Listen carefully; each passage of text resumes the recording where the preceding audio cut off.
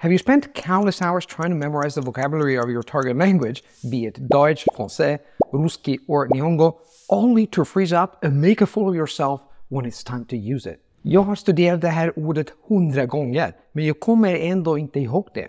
Γιατί ξέρω να λέω στρουθοκάμιλος, αλλά δεν μπορώ να πω κανένα πρόβλημα. Ah, egyfolytában összekeverem a szavakat. Memorization mistakes are killing your dreams of fluency. But, non preoccuparti, I've got what you need to help you succeed. Ready to change the way you approach vocabulary learning? No to zaczynamy. Mistake number one, too much vocab, too little content. Tentar memorizar palavras é como tentar alimentar o cérebro à força. Não é nada fácil. We've been taught to read, listen, repeat, cross our fingers, and voila, maybe, just maybe, we've learned something. But our brains do not work that way. In fact, trying to learn words deliberately is like trying to stuff food into your own throat. Your beautiful brain needs content to recognize and develop patterns. Memorizing words is a subconscious process, not a conscious one. Getting exposed to a language is like eating, something we do consciously, while memorizing words is like digesting that food. It is handled by the body and the subconscious. So please, please stop trying to memorize, aka force feed your brain, and start consuming more content in the language. Будь как американец и смотри больше телевизора. Ha! I urge you to stop thinking about how many words you know or have learned. Instead, ask yourself two relevant questions. One, are you consuming content you enjoy? And two, does roughly 20% of that content contain new words, expressions, and phrases? Porque eso es lo que verdaderamente va a marcar la diferencia. Stop counting words and start consuming content you enjoy. Aim for content with at least 20% new vocabulary that keeps your brain engaged and growing. And growing means knowing. 加油! Mistake number two, do not memorize, understand. Se memorizzare parole funzionasse, sarei un vocabolario ambulante in 15 lingue. Some time ago, I was reading a great book called The Art of Focus by Dan Koe. And all of a sudden, I stumbled upon a passage I immediately loved. You do not learn through memorization, you learn through struggle. Mamma mia, che frase. Think about it. How did you learn your native language? Yes, my friend, through struggle, not memorization. Memorizing vocabulary should be the consequence of using the language, not the goal. Engaging with material in your target language is key, and you need to engage with content you can at least partially understand. Make sure that whatever you consume comes with tools that allow you to understand it, to grasp it. If you're reading an article online, make sure you use DeepL or Google Translate to get a bilingual translation of it. If you're reading a book, scan the page with Google Lens and listen to that page in your native language. If you're watching a movie, use subtitles in your target language, native language, or even both with a little something called Language Reactor. Nowadays, the possibilities of creating your own comprehensible language content are literally endless. The goal of using comprehensible and rich content is for you to slightly struggle with it in order to understand it. Every minute spent this way is gold to build your language skills. And remember, it is all about understanding a piece of language, not memorizing it. If you understand the message, you will acquire the words that make up that message. Shift your focus from memorization to comprehension.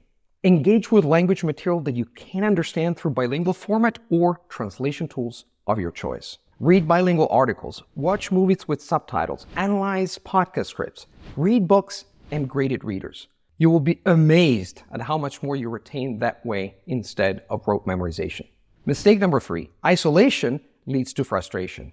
Quelle est la différence entre ma liste mots et ma liste de courses Aucune, ni l'une ni l'autre ne reste dans ma tête. Back in school, when I was 12, I used to gleefully make lists of individual words in English while my Italian teacher was explaining something else. Shh, don't you ever tell her. That's our secret. Guess what? They never stuck. Words in isolation are hard to remember, but when you learn them in context, it's a whole different story. Isolation leads to frustration rather than memorization. Remember that, my dear language nerds.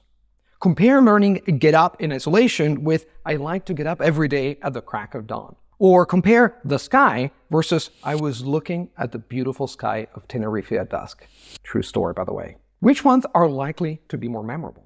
Which ones contain more associations for your brain to make? My point is that learning words in context helps you remember them better by creating mental associations with other elements. Words in isolation will eventually stick if you repeat them a thousand times, but who's got time for that? Not your amazing brain. Instead of isolated words, write down phrases or sentences. The more context you have, the more likely you are to remember. Forever. Mistake number four, knowing all words all the time. Elk woord willen leren is alsof je een heel buffet probeert op te eten. Je zit snel vol. As you have seen before, every great piece of language material which is just a bit outside of your comfort zone contains some language, vocabulary, phrases, expressions you do not know and are eager to learn. But trying to learn every single word, every single expression, every single phrase? No way. That's overwhelming. The thing is, the brain naturally discards what it does not find necessary. For example, I know a lot of words in many languages related to language learning. But if you were to ask me about astrology in, say, svenska, Swedish, I would stare at you like an idiot. And guess what? I do not need to know those words because they're not relevant to me or my lifestyle. Focus on the words that matter to you and let the rest go. Less is more. Ask yourself, do I really, really need this word? Is it interesting or relevant for me?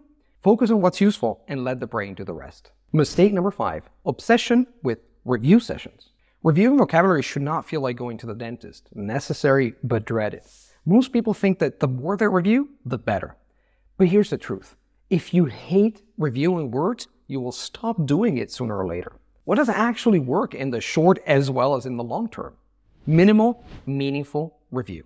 My single piece of advice is to find what works for you but don't bore yourself with endless review sessions if that's not your style. Balance your review by adding unintentional and intentional methods. An intentional review means to use the language in real life, while intentional is about sprinkling in some light review to boost retention. Re-listen to podcasts, review your notes once a week, or if you want to take things to the next level, you can try your hand at some of the cool techniques I teach within the Overcoming the Intermediate Plateau course for brief, simple, and effective review. Remember, the goal is to enjoy the process, not dread it. As mean then, Barataib. Don't let those five memorization mistakes ruin your language learning experience. Are you making any of those mistakes right now? Or have you in the past? Let me know in the comments below. Ricorda, non è mai troppo tardi per raddrizzare la rotta. Want to transform your language learning experience? Check out my free ebook and audiobook titled Avoid These Critical Mistakes and Go from Failure to Fluency.